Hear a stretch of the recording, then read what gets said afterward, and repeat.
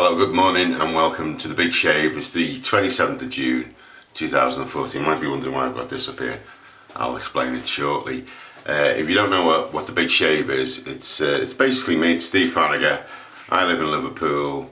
Uh, I work in a local community, do lots of different things. Um, and I just explain about shaving and the last couple of sh shaves we're, we're, trying to sort of vary what we do. Um, we did a cheap shave. Uh, I've done a quick shave which I haven't uploaded yet. But on Tuesday night uh, I went to a charity event uh, run by a local organisation called Daisy UK. Uh, the web address is there. It's run by a friend of mine actually called Dave Kelly, who uh, is in his, I think he's in his 40s or 50s, but he went blind about 10 or 15 years ago. Uh, so he's a sighted person who went blind. And uh, he organises these meals to raise funds for his organisation called uh, dinner, dinner in the Dark, Down in the Dark. And what you basically do is uh, you put a blindfold on, boop, like that, and you eat your, eat your food. Um, it's a very strange experience to say the least. Um, you know, you don't know how much food's left on the plate, you don't know where things are on the plate, even if they've been explained to you, the positions of them. Um, very often you, you bring the fork or the spoon to your mouth and there's nothing on the fork or the spoon, you've picked nothing up. And it suddenly occurred to me uh, yesterday, um, thinking about it, well, how do people shave and, and do we have any blind shavers in the Big Shave, the Big Shave group on uh, Facebook and that, that's the address of the Big Shave group. Maybe they don't want to identify themselves, but it'd be interesting to find out how people cope with it. Um, so I thought it would be interesting, I'm not doing this as any sort of publicity stunt or for a laugh, is um, what's it like to get shaved without uh, not just not looking into a mirror but not being able to see where things are. Now I've given myself a bit of an advantage really. I've got the, the scuttle, the aftershave, the brush, the cream and the razor are already down here and there's a bit of soap in the bottom of the scuttle so um, I haven't had to find things so I give myself a massive advantage but I just just think it'll be interesting to see and, and I'll obviously do a bit of a running commentary as well to, to, to explain how, how I'm sort of thinking about it so I'm going to pull the mask down and it's a genuine mask. This this is the one I had when I when I was eating my food the other night. So you know you can't you can't see. Um, see a tiny bit of light at the bottom and nothing else. Um, and I, I, by the end of it, I might even be facing the mirror. I might, I might be, I might have me back to the mirror. I suppose. Who knows?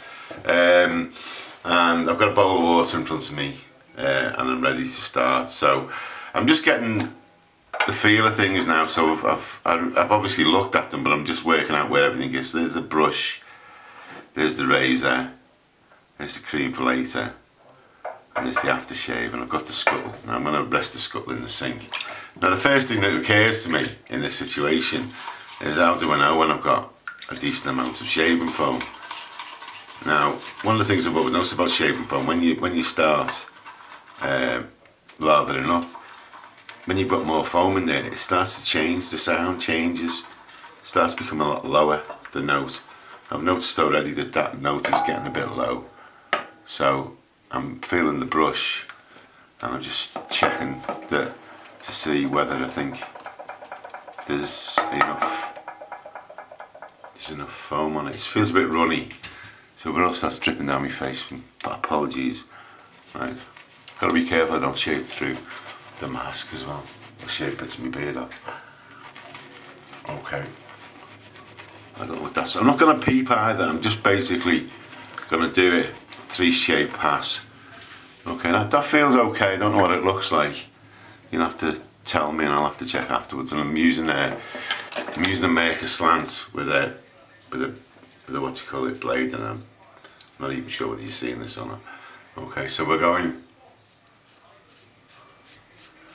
funny thing is, I've got my eyes shut behind this mask. Seems like I feel better if uh, total darkness. Okay, so that's go for the first pass on the left hand side. I'm gonna have to lift this up a little bit, but I will keep my eyes closed. Okay. So an old blade as well, but it's uh, as you know, my opinions on Astra Platinum is that they they're my go-to blade. And when I do use other blades, I do notice that they are aren't as good as the Astra Platinum. So here we go. Obviously touch is a lot more important. So what's been happening? Apart from going for meals blindfolded. Well, I've uh, started doing car booties again. Clean out all the rubbish from my house. Selling it to unsuspecting uh, members of the public. Robins Island car boot sale. I'll be there this Sunday. Which is uh, the 29th. Is it the 29th? From about 7 o'clock in the morning. If you don't know where Robin, Robins Island car boot sale is, it's on the uh, the 857 from Liverpool to Oxford. Okay, so let's it up again. And I actually shaved someone on Sunday. It's the second time I've done this. This guy was talking to me about what you know, what's the advantages of of, uh, of all this stuff that I have on the stall. And I said, well, look, I'll give you the shave. And, and he was very impressed. I guarantee he'll be back next week and he'll want to buy something. He had a friend with him who already shaves. Right, okay, so it's all touch It's very unnerving doing this. Not that I feel like I'm going to cut myself, but it's just... I actually think I'm probably going to get a better shave because I'm not a great... Uh, when I'm shaving I usually just do it visually. The thing about the food as well, you're very, very careful when you were eating. And when you took your mask off and you saw other people eating, it was very... It was a different experience. You take eating for granted uh, eating for granted. Sorry, eating, eating, eating for granted, and um, you, you have to do it when you when you're eating your, your your meal, especially a meal where you've got to cut up things. You've got to use it. People, you see people using strategies and thinking, well, I do, you know, do this. One of the things people start to do is tapping the plate to see where the food was, or even touching the food. So putting your hands in your meal, which look really odd. Okay, so let's see. Okay, here we go. It's lathered up again. It feels like it's getting a good lather now actually. Feels like the lather's settled a little bit. It's of course it's Arko. You know, why why why wander into new territories? So we're going down the jaw now, this is the final pass. We're going down the jaw line to the beard area and then the Van Dyke as you call it in the United States. I'd just like to say a big thank you as well to everyone who's uh, been buying mainly Merkur Futures on uh, on eBay, eBay shop. Coming up now. I won't point because I don't even know where I'm pointing. eBay shop coming up now there. Um, and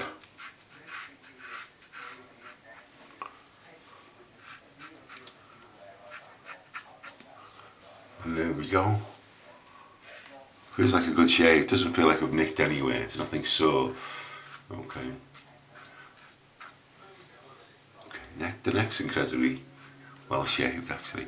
Yeah, people have been people from all over the world, Russia, Israel, the United States, been buying Merkur Futures off me. Possibly because I'm one of the cheapest sellers on eBay. Uh, and plus I've got quite a stock of them, so anyone else is interested, drop me a line and we can, um, you can buy one. Okay, putting the razor down, taking the scuttle out. Um, right, so I am going to lift it up now, but I'm going to keep my eyes closed I need to wash all this off my face. No peeking now. Where's the towel? Okay, still no peeking. Back down again. Okay. Right. Hopefully we're facing the right direction. Right. So we've got uh, we're using a bit of Windsor. Let's show which way the label is. Uh, put some of this on, so we're getting a handful of the Windsor check cologne. The thing is, putting things down, so remember where you put them. Rub it in. Let it evaporate. It's okay. That's the top. So the top's going back on, sorted.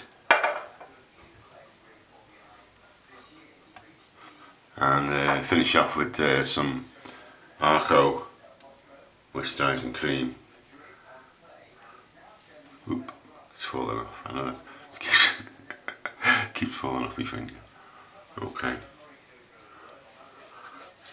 So, why don't you have a go doing this yourself? Because it is, it is a completely different experience. It gives you a whole different perspective on um, on shaving. It becomes a, a completely tactile tactile experience. My friend Dave, who's blind, gets does the, the, the dine in the dark because he wants people to empathise with blind people. As, as he always says, if halfway through the food you, you feel like you've had enough, you can just take the mask off. But blind people can never take the mask off. The mask's on all, all the time. So, fantastic idea, Dave. And I hope people appreciate you doing this. And um, have a go yourself because it is a it is a different experience. My name's Steve Faragher. This has been the Big Shave. That's my email address if you want to email me. That's the Facebook group, which is now coming up. And finally, it's the eBay shop, which is on my hands. Look, there you go. Um, nothing else to say really, apart from that was. Um, I would say it was enjoyable. It was interesting.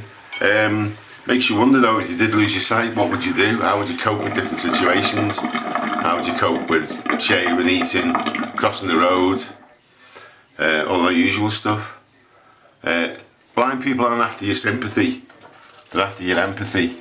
They don't want you to take over their lives, they just want you to um, get some assistance when they need assistance. If they need assistance, they don't always need assistance. Okay, thank you very much for watching. Uh, Steve Faragher, the big blindfolded shave on the 27th of June 2014. Thanks for watching. I'll see you all soon. Ta-da.